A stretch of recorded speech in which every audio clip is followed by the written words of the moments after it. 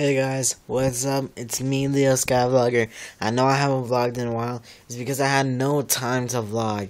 Um, actually, tomorrow is my day.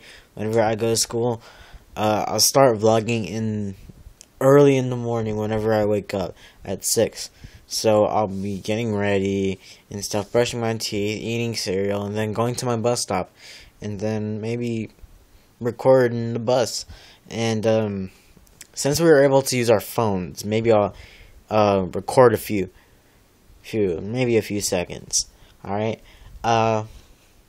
So yeah. Um. So yeah, I hope you like this. I know this video is gonna be short. It's because I'm going to bed and it's my last day of summer. So yeah, sad.